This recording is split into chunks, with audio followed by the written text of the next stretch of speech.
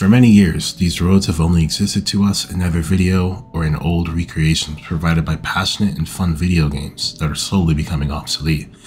Despite all of our updating technology and capability to recreate these roads more easily than the several generations of technology that had to do so before, many companies have abandoned this once dying section of car culture.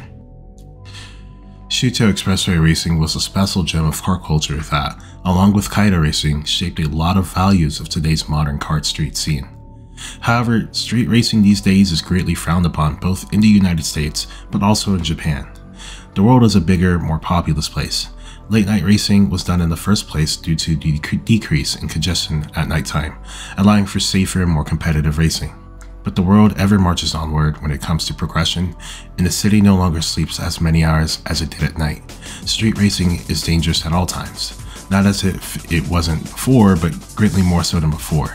That along with the increased police presence, a lot of the racers just becoming older and having more responsibility, or some racers even moving on to the pro scene, the times of the street racer were seemingly coming to an end. But the passion some have never dies out, and so the art holds on to whatever is left to keep pushing forward and further itself. The street scene has had quite the resurgence as of the past few years in the US, Many drivers gather around in the circles to display their cars and do burnouts and donuts to the ire of their neighborhoods, but to the delight of the youth involved.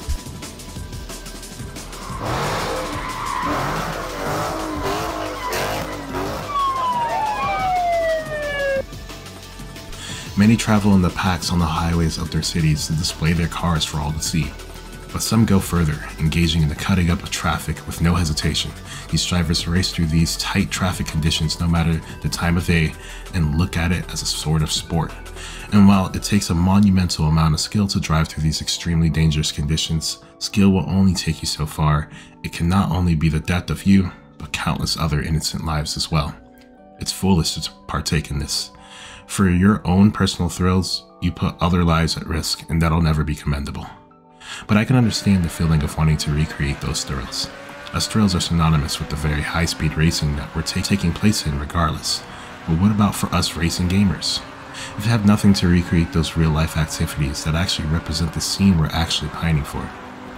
Need for Speed left the market long ago for a representation for an actual street racing scene, opting to make a more fantastic version with dramatized stories and dramatized cars like the Fast and the Furious. Unfortunately, if you're like me though, that's not what we're looking for. But what we do have is simulators and a passionate community filled with players of many a skill set and a vision. Players from many communities have worked together to recreate the street racing experience of our predecessors. The Shuto Expressways have been almost 100% recreated in their entirety, from the C1 loop to the Shinkanjo and the beautiful stretch of the Wangan itself.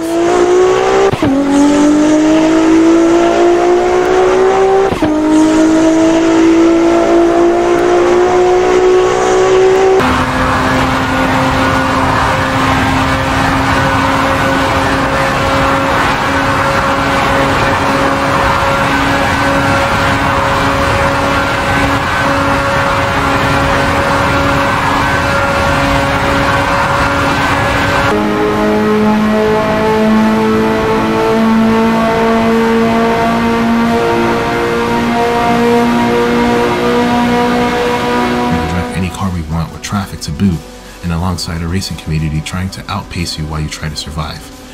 Within a set of courses specifically, many servers have utilized the Shutoko Revival Project's beautiful Shuto Express Race recreation to create servers to come together to show off our skills while providing cars from all areas and tuned from different disciplines uh, so that we can come together and have a true role-playing session. Right down from the parking lot social gathering aspect all the way to the ripping it down the Wangan at 200 miles per hour trying to outrun your opponent while blazing through traffic. The SRP themselves, of course, have their own server with many cars that are a joy to drive. From slow cruising Civics that are always taken so I can never drive them in the server, to beautiful Ferrari F40s with custom body kits that would scream blasphemy to higher class collectors, just like custom scenes always love to do with Joy.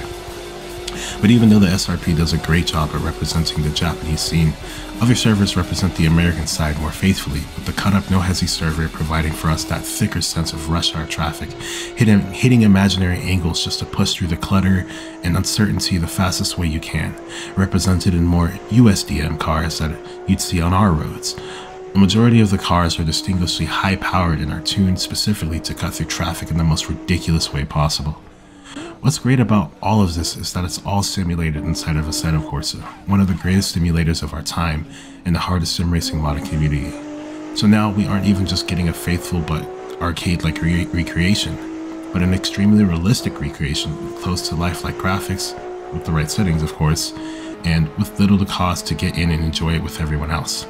I'm lucky enough to have had time to put together a pretty kickin' rig and that I can get on every night or every other night and get on the Shuto Expressways and absolutely absorb myself into them. But even with a controller, many in the community have come together to make the perfect settings that you can use or just download and play just as well as me with a clutch and H pattern shifter while on your controller.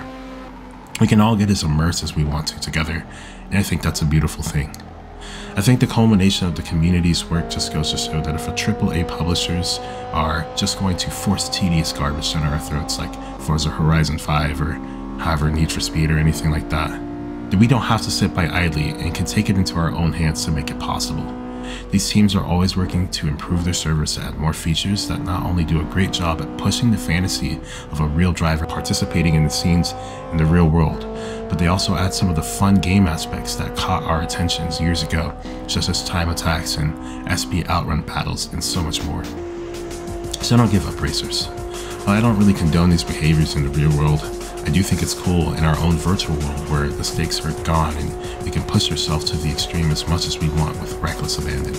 So if you're like me and want to experience that street scene vibe without the legal issues that come with it, head on over to the servers and come join us. There's a lot of like-minded people waiting to teach and run with you.